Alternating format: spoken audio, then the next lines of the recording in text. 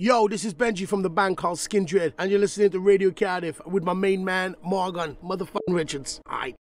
Hey, I'm Morgan Richards from Radio Cardiff from 98.7 FM, and I'm very pleased to say that I'm backstage at the Globe Music Venue here in Cardiff, and I'm rejoined by a band that can only be described as those unique reggae metal giants who love to tear up and kill the power live whenever they can. From Newport, South Wales, is of course the phenomenal Mr. Benji Webbe of Skin Skindred. Yo, what's going on, brother? Hey Benji, you alright? Yeah, man, fantastic. Oh, brilliant. How's things? We've been busy on the road for the last three weeks. We went over to Europe, sold out a bunch of dates. Club shows like four, five, six hundred capacities, but they all been sold out. Went to Hungary, went to Poland, which was freezing. We went to um, France, went to Spain for the first time and sold out three dates, which is really cool. Yeah, so things on up and up. The UK dates have been fantastic. You know, selling the clubs out in, in advance and stuff. Yeah, so we're on a roll. It's going really well. Okay, awesome. Well, brilliant. So, uh, Benji, the last time I caught up with you guys was with Dan when you played a fantastic homecoming show in Newport Centre back in March after the incredible release of your fifth full-length studio record, Kill the Power, at the beginning of the year. And really, since then, you guys, as you mentioned, have travelled the globe non-stop, bringing the reggae metal to anyone wanting to hear it. And I'm sure it's just been a brilliant hitting everywhere, playing shows of most successful record you guys have released to date. Yeah, man, it's just been phenomenal. You know, we, we're a hard-working band. You know, we don't care where we play. We play, like I said, the capacity at the Globe is like 300. We don't mind that. Whenever people want to rock, that's what we take it. Simple. Yeah, okay, well, awesome. And uh, as a spectator, if I had to sum up the year you guys have had in two words, it would really be big shows. Because as I mentioned, you guys have basically been everywhere these last few months, playing some beautiful venues with the likes of two European tours, a heap of shows in Japan, Australia, and much more, with a very busy summer of festivals as well. But now, just recently, you being on a special and intimate run of shows across the UK to top the year off, being a very long time since you've done a tour like this. Must be really refreshing vibe to get back to playing these tight, compressed, in-your-face venues, getting sweaty up close and personal with the crowds. Yeah, it's, it's like we, we play anywhere, bro. You know, like we'll play anywhere from like Cardiff Arms Park to like you know whatever they wherever they'll put us, we'll play a pub up flipping Merthyr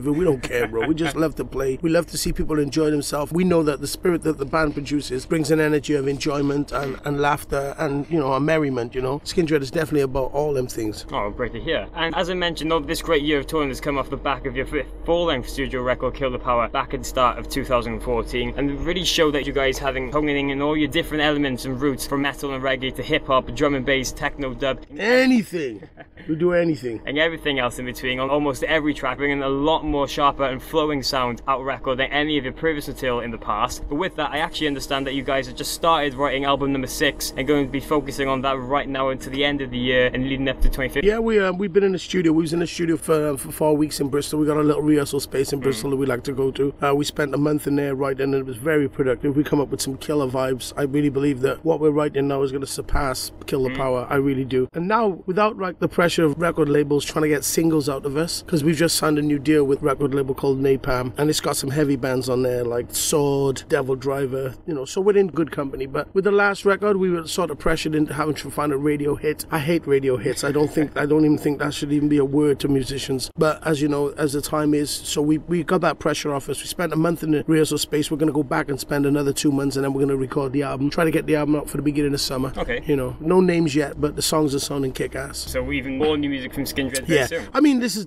you know, as a live act now, it's none of this like two years on the road touring an album stuff. We just get the deals, get them signed, get in the studio, get the records out there. For me, a record is no longer something that I'm hoping to get a royalty check off. A record for me is an audio flyer. You know, it's just something which people can hear and go, "Wow, I like that song. I want to see it live." And hopefully, our live reputation, when people come, they get hooked on the on the sound. You know. Oh, awesome. And uh, even though, as you mentioned, it is early days with the record, but with the vibes already coming together for the next album, can we expect it to follow on from Kill the Power? It's always our, our basic foundation of any of our songs is Jamaican reggae music, punk rock, and heavy metal, and then like the drum and bass or the drum step or whatever that comes later. But our foundation of every song is by any means necessary. You know, we want to get you rocking. Okay. We want to get you bouncing. You know, I love it when people like when I got friends of mine and they said they they come to see us and they've only listened to metal all their life or they've only listened to reggae, and when they come to see us, we're like a bridge building band. You know, I got people who say to me all the time that they've only listened to a certain type of music, but after coming to a Skindred concert, it sort of opens them up to embrace other things. You know, and I think that's what music should do for people. And uh, as we've mentioned, you guys writing, I've heard a few things recently that you guys have been working on a special collaboration with the dubstep rock titans in Modestep over the last year. Yeah, we did it. We, yeah, we did one song with them guys um, in the summer. It should be out. It's coming out on their album. I think the song. I can't remember the name of the song, but I think it's called Circles or something like that. But yeah, it was really good fun working with them kids. You know, they, they know what they're doing and they, they got a great live sound. You know, they just wanted for my energy to go on their record. and Mm. yeah, we, I recorded one song with them, so that should be out real soon too. Okay, well, awesome. And lately, working with other acts is something that you guys very much enjoy doing, especially on the last two records. We had Papa Roach's Jacoby Shaddix Mm-hmm. and female vocalist Jenna G featuring on tracks. But Benji, you always seem to be writing with other acts too, because I know just lately you've worked with the Dirty Youth on bits Yeah. on their new record. Yeah, yeah, they came to me and, and I helped them out with some parts. Yeah, I've been I've been working quite a lot this year, more than ever ever before. I'm a good friend with Robert Trujillo from Metallica, Mm. and we got a side project called Mass Mental, and we did a show in San Francisco about two months ago, and that was that was phenomenal. You know, to be on stage with like Kirk Hammett and Robert Trujillo and Stephen Perkins from Jane's Addiction playing drums, and Puffy from Faith No More. You know, these are guys who, you know, even though as a singer or a skin dreader, we're not as known as them bands, but they seem to identify the, hmm. the power in, in my voice. And when they're doing something like that, they call me over to, to jam with them, which is great. You know, pay my ticket, feed me.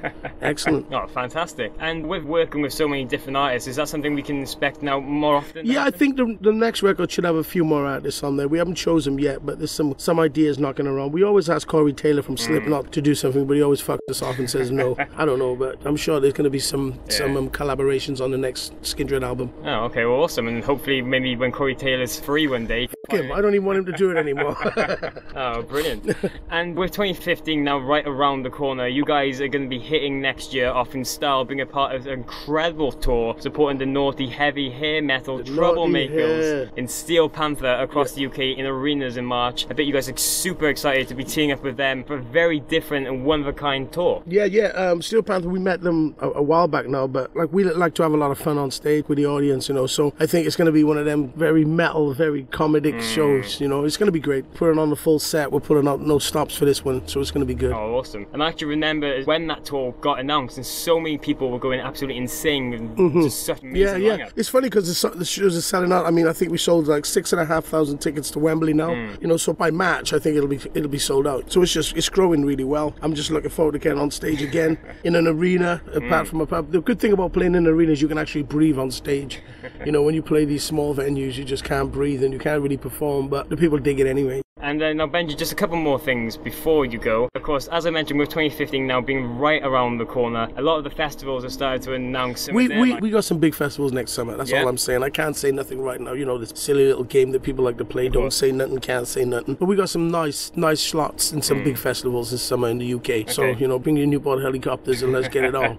Well, brilliant, because last year you guys put on a very brilliant show at the main stage of Download Festival. Yeah, that was good Gained fun. a lot of fans for that as well. Well, that's it. It was funny because someone said to me that we was on. I think we were on about two, two o'clock, and the band that was on before us played in front of like ten thousand people, and by the time we got on, it was like forty thousand people in front of the stage. And after we played, like thirty thousand people mm. left. So that was really cool to know that you know we're building a fan base. You know, we ain't got the hype of the magazines and the TV and this bullshit, but what we have got is a solid fan base building, and people are realizing that Skindred are a force to be reckoned with when it mm. comes to life. We are bringing something different, something fresh, and something positive to the world. Even though we've been going like 15, 14 years, it don't mean shit. What, what's important is are you delivering? No matter how old the person is or how old they are, if they're good, they're good. You can't take that away from them. Simple things. Brilliant thing to hear. Yeah, man. and uh, with all that, now can we expect anything else from Skindred in the near future? I think you just spoke a lot about a lot going on. That's a lot in the future. Like I said, we got albums, we got big tours going on, we're playing some big festivals. There's a lot going on, bro. There's a lot going on. So just more shows and more music to come. It's then. always, bro. That's that's what a band's about. A band is about live, and a band is about making people forget the boat in the world for 20 minutes at least, you know. And that's what we do best, and that's what we're going to do until such time. Okay, well, perfect. Well, uh, that's about it. Cheers, Benji, for taking time out to have a chat with me. No problem. Obviously, good luck now with the rest of the tour and everything in 2015. And hopefully, you very I much. catch up with you guys again very Yeah, soon. yeah, sure, sure. Well, thanks for being interested.